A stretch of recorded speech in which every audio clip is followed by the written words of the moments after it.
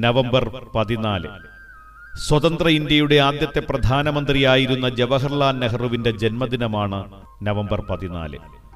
ആയിരത്തി എണ്ണൂറ്റി എൺപത്തി ഒൻപത് നവംബർ പതിനാലിനാണ് അദ്ദേഹം ജനിച്ചത്. കുട്ടികളുടെ ഇഷ്ട ചങ്ങാതിയായിരുന്നു നെഹ്റു. അതിനാലാണ് ഈ ദിവസം ശിശുദിനമായി ആചരിച്ചു വരുന്നത്. ചാച്ചാജി എന്ന ഓമന പേരിനാൽ നെഹ്റു എന്നും ഓർമ്മിക്കപ്പെടുന്നു. ആഘോഷങ്ങൾ ഏറെ ഇഷ്ടപ്പെട്ടിരുന്ന ഒരു വ്യക്തിയായിരുന്നു ചാച്ചാജി.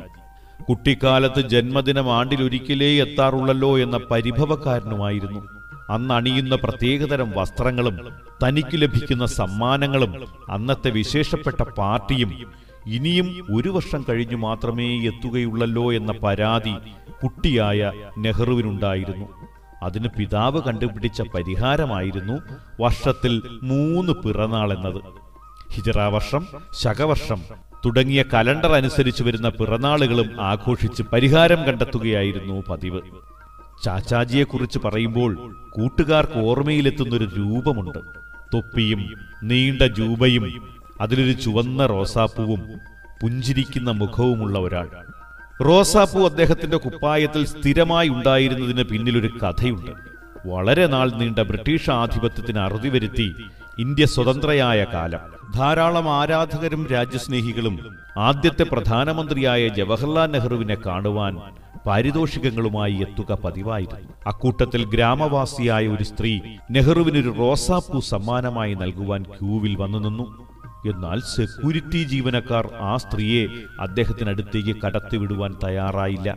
വിലപിടിച്ച സമ്മാനങ്ങളും മനോഹരമായി വസ്ത്രധാരണവുമായി എത്തുന്നവർക്കായിരുന്നു സന്ദർശകരിൽ പ്രാധാന്യമുണ്ടായിരുന്നത്.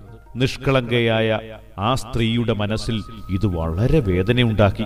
അവരുടെ വീട്ടുമുറ്റത്ത് വളർന്ന റോസാപ്പൂവല്ലാതെ മറ്റൊന്നും സമ്മാനമായി നൽകുവാനുള്ള നിവൃത്തി അവർക്കുണ്ടായിരുന്നില്ല. അങ്ങനെ ദിവസങ്ങൾ പലത് കടന്നുപോയി. എങ്ങനെയും തന്റെ സമ്മാനം ചാച്ചാജിക്ക് നൽകണമെന്ന ആഗ്രഹം ആ സ്ത്രീ ഉപേക്ഷിച്ചില്ല. ദിവസവും വിടർന്നൊരു റോസാപ്പൂവുമായി അവർ നെഹ്റുവിനെ കാണാൻ ചെന്നിരുന്നു. അദ്ദേഹമാവട്ടെ ഈ വിവരം അറിഞ്ഞുമില്ല. ഒരിക്കൽ സെക്യൂരിറ്റിക്കാരുമായി തർക്കിക്കുന്നൊരു സ്ത്രീ അദ്ദേഹത്തിന്റെ ശ്രദ്ധയിൽപ്പെട്ടു. അവരെ അകത്തേക്ക് കടത്തിവിടാൻ അദ്ദേഹം നിർദ്ദേശിച്ചു. അവരിൽ നിന്നും വളരെ സന്തോഷത്തോടെ ആ റോസാപ്പൂ വാങ്ങുകയും എന്തെന്നില്ലാത്ത ആദരവും സ്നേഹവും അദ്ദേഹത്തിന് അവരോടുണ്ടാവുകയും ചെയ്തു.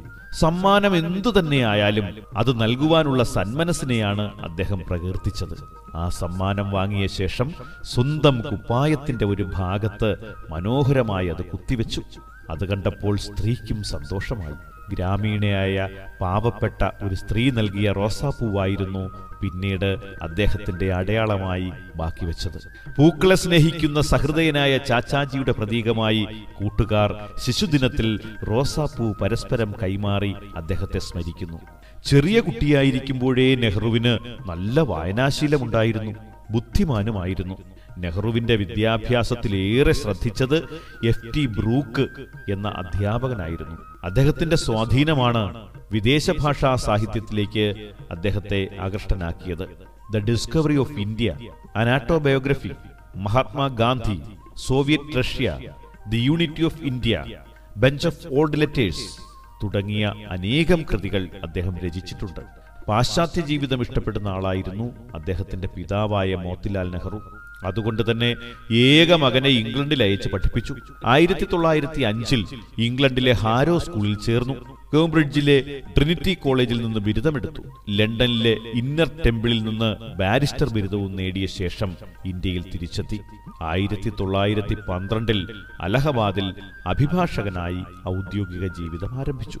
ആയിരത്തി തൊള്ളായിരത്തി പതിനാറിൽ വിവാഹിതനായി. ആ വർഷം ലക്നൌവിൽ വെച്ച് നടന്ന കോൺഗ്രസ് സമ്മേളനത്തിൽ വെച്ചാണ് ആദ്യമായി ഗാന്ധിജിയെ കണ്ടുമുട്ടിയത്. ആയിരത്തി തൊള്ളായിരത്തി ഇരുപതിൽ നിസ്സഹരണ പ്രസ്ഥാനത്തിലൂടെ ഗാന്ധിജിക്കൊപ്പം സജീവ രാഷ്ട്രീയത്തിൽ പ്രവേശിക്കുകയും സ്വാതന്ത്ര്യ സമരത്തിന്റെ മുന്നണി പോരാളികളിൽ ഒരാളായി മാറുകയും ചെയ്തു. ആയിരത്തി തൊള്ളായിരത്തി നാൽപ്പത്തിയേഴിൽ ഇന്ത്യ സ്വതന്ത്രമായതോടെ നെഹ്റു പ്രഥമ പ്രധാനമന്ത്രിയായി. പ്രധാനമന്ത്രി എന്ന നിലയിൽ നെഹ്റു കൈക്കൊണ്ട സാമൂഹ്യ സാമ്പത്തിക പരിഷ്കാരങ്ങളും വിദേശ നയവും ഏറെ ചർച്ച ചെയ്യപ്പെട്ടു. ഐക്യരാഷ്ട്രസഭ ജനറൽ അസംബ്ലിയുടെ ആദ്യ വനിതാ പ്രസിഡന്റായിരുന്ന വിജയലക്ഷ്മി പണ്ഡിറ്റ് ജവഹർലാൽ നെഹ്റുവിന്റെ സഹോദരിയാണ്. മാർക്സിസത്തെപ്പറ്റി ആഴത്തിൽ പഠിക്കുകയും ബുദ്ധിജീവികളുടെയും യുവജനങ്ങളുടെയും നേതാവായി മാറുകയും ചെയ്ത അദ്ദേഹം പ്രധാനമന്ത്രിയായിരുന്നപ്പോൾ സ്വീകരിച്ച ചേരിചേരാ നയം ലോകം ചർച്ച ചെയ്ത ഒന്നാണ്. സ്വതന്ത്ര ഇന്ത്യയുടെ സമഗ്ര വികസനത്തിന് വേണ്ടി അക്ഷീണം പ്രയത്നിച്ച നെഹ്റു ആധുനിക ഇന്ത്യയുടെ പിതാവ് എന്നുകൂടി അറിയപ്പെടുന്നുണ്ട്. റോസാപ്പൂക്കളെ സ്നേഹിച്ച അദ്ദേഹം പൂന്തോട്ടത്തിലെ ഇതളുകൾ എന്നാണ് കുട്ടികളെ വിശേഷിപ്പിച്ചത്. ലിംഗഭേദമില്ലാതെ ആൺകുട്ടികളെയും നിസ്സീമമായി സ്നേഹിച്ച നെഹ്റു കുട്ടികളുടെ സുരക്ഷിതത്വത്തിനും ക്ഷേമത്തിനും വേണ്ടി പ്രവർത്തിക്കുകയും ചെയ്തു. കുട്ടികളോടുള്ള സ്നേഹം കരുതൽ കൂടുതൽ അവസരങ്ങൾ പരിഗണന എന്നീ കാര്യങ്ങളിൽ മുതിർന്നവരോടുള്ള ഒരു ഓർമ്മപ്പെടുത്തൽ കൂടിയാണ് ഓരോ ശിശുദിനവും. അന്തർദേശീയ ശിശുദിനം നവംബർ ഇരുപതിനാണ്. ഏകദേശം നൂറ്റി പതിനേഴ് രാജ്യങ്ങൾ പല ദിനങ്ങളിലായി ശിശുദിനം ആഘോഷിച്ചു വരുന്നു. കേന്ദ്ര വിദേശകാര്യമന്ത്രിയായിരുന്ന മലയാളിയായ വി കെ കൃഷ്ണമേനോനാണ് അന്തർദേശീയ ശിശുദിനം എന്ന ആശയം ആദ്യമായി മുന്നോട്ട് വെച്ചത്. ഐക്യരാഷ്ട്രസഭയും യുനെസ്കോയും അത് അംഗീകരിക്കുകയുണ്ടായി. ഒരു ശിശുദിനം കൂടി കടന്നു പോകുമ്പോൾ ചാച്ചാജി എന്ന റോസാപ്പൂ അപ്പൂപ്പനെ നമുക്കൊരിക്കൽ കൂടി ഓർമ്മിക്കാം. ഇന്ത്യൻ സ്വാതന്ത്ര്യ സമര നേതാവ് രാഷ്ട്രീയ തത്വചിന്തകൻ ഗ്രന്ഥകർത്താവ് ചരിത്രകാരൻ എന്നീ നിലകളിലെല്ലാം വ്യക്തിമുദ്ര പതിപ്പിച്ച ആധുനിക ഇന്ത്യയുടെ ശില്പി എന്ന് വിശേഷിപ്പിക്കപ്പെടുന്ന ജവഹർലാൽ നെഹ്റുവിന്റെ ജന്മദിനമായ ഇന്ന് അദ്ദേഹത്തെക്കുറിച്ച് ഒരു ചെറു വിവരണം നിങ്ങൾക്കായി നൽകിയത് Amshu V S Varkala. Your Excellencies, Prime Ministers of the Commonwealth, my lords, ladies and gentlemen, 51 years ago, I came to London for the first time. I spent a good part of my boyhood and youth in this city and became a part of it during those impressionable years. Since that period, half a century ago, I have been engaged in many activities connected with the freedom of my own country, and in later years, I have had the privilege of coming here in a different capacity. The last few years have witnessed great changes in India.